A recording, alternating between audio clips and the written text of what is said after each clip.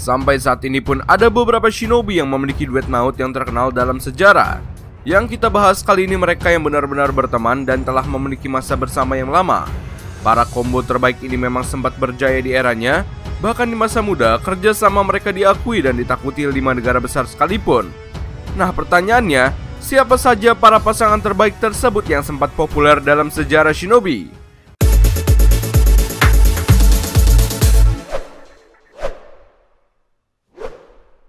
Halo bro, balik lagi dengan channel Daftar Review TV Nah kali ini kita akan membahas mengenai para combo terbaik dalam sejarah Shinobi. Berjalannya waktu, beberapa Shinobi tumbuh dengan para partner terbaik mereka. Orang yang telah mengenal satu sama lain dari masa remaja sampai melindungi desanya masing-masing Mereka ini dikenal karena kerjasama epik dalam kisah Shinobi. Kita langsung masuk di nomor 6 A dan B. Ya, Kumogakure memang sejak masa lalu selalu memiliki shinobi yang berpasangan ini guna menggabungkan dan melestarikan teknik double lariat, kemampuan yang dikombinasikan dengan kecepatan tinggi dan tenaga dari dua shinobi tersebut, A yang saat itu masih muda, akhirnya mendapati bocah kecil yang terpilih sebagai pasangan dia, yaitu B. Kelak dikenal sebagai Hachibi atau Killer B. Dua pasangan double lariat ini bahkan sempat bercekcok dengan Namikaze Minato di masa lalu. Selain itu, dua orang ini pernah menghajar Kisame. Ya, meskipun Zetsu telah keduluan memanipulasinya, Raikage A dan Killer B adalah dua orang dengan kemampuan tinggi dan dianggap combo terbaik dalam sejarah Shinobi Kumogakure dahulu selepas kepergian Raikage ketiga. Mereka adalah pelindung negara petir dan tentunya Kumogakure no Sato. Berikutnya kita masuk di nomor 5 ada Madara dan Izuna. Mereka adalah pasangan kakak beradik yang dikenal legendaris dalam era Shinobi masa lalu dan juga leluhur dari klan Uchiha. Madara dan Izuna memang identik dengan para Sharingan yang cerdas dan sangat elit.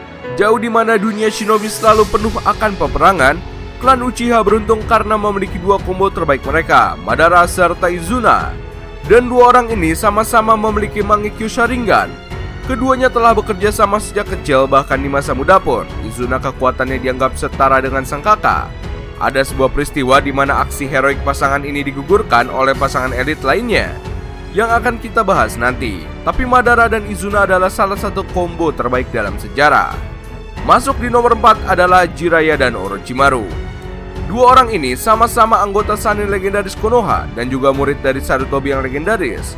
Kisah Jiraya yang dikenal sebagai amukan desa memiliki partner yang semasa kecil telah hidup dan bersamanya, yaitu Orochimaru. Orang ini awalnya menjadi pasangan solid dan terus membantu Konoha dalam setiap pertempuran-pertempuran besar. Akhirnya keduanya malah memilih jalannya masing-masing dan akhirnya menjadi rival. Tapi di masa muda, sebelum mereka bertambah kuat, siapa pun akan gentar terlebih dahulu jika berhadapan dengan ninja Konoha yang bergelar Sanin ini. Apalagi jika dua orang ini dipersatukan, Jiraiya serta Orochimaru. Dan yang ketiga ini kita anggap istimewa, mereka adalah Shisui dan Itachi.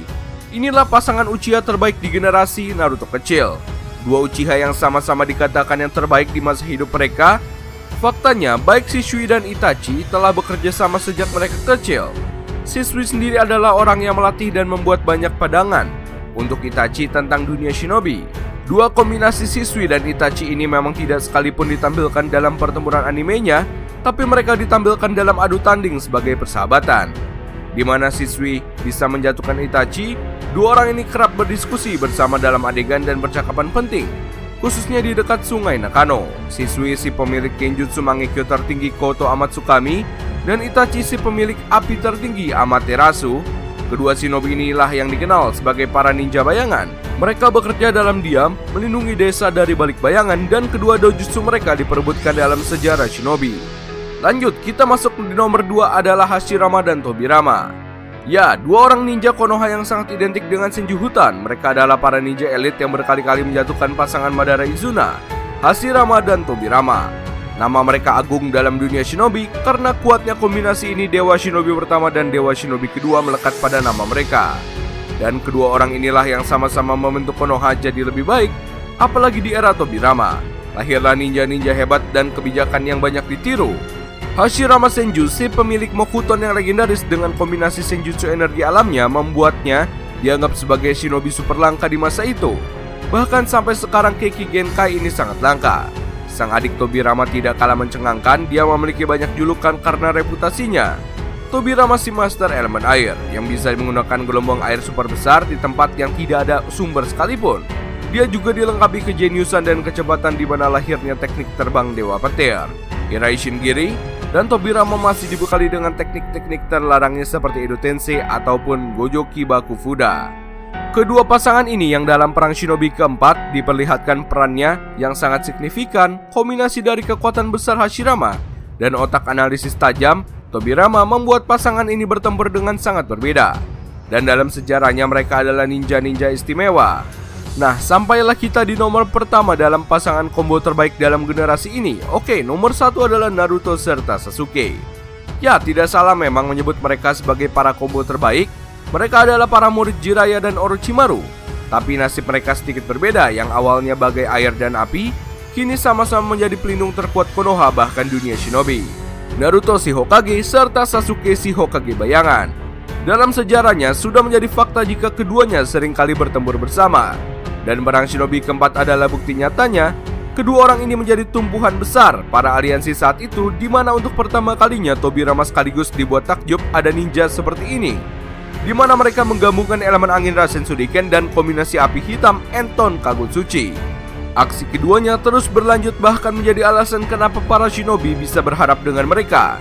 Jika Naruto bisa menggunakan teknik-teknik seperti Gyudodama atau Rikudo Mode serta masih ditambah dengan kemampuan Bichu Mode yang luar biasa karena ia seorang Jinchuriki dari Kurama.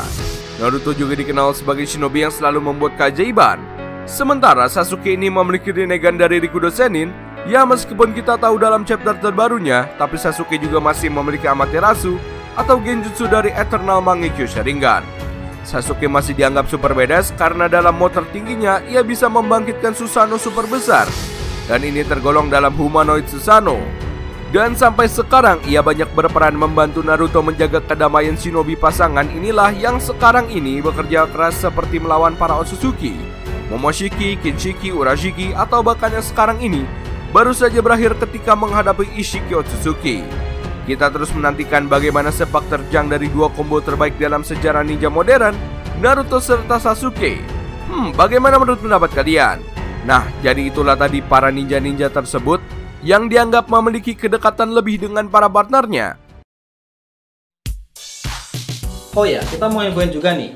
Kalau kalian mau beli produk anime macam jaket, kaos, dan yang lainnya, kalian bisa kunjungi official marketplace kami, namanya Daftar Review TV Shop. Nah, ini udah tersedia di Tokopedia serta di Shopee.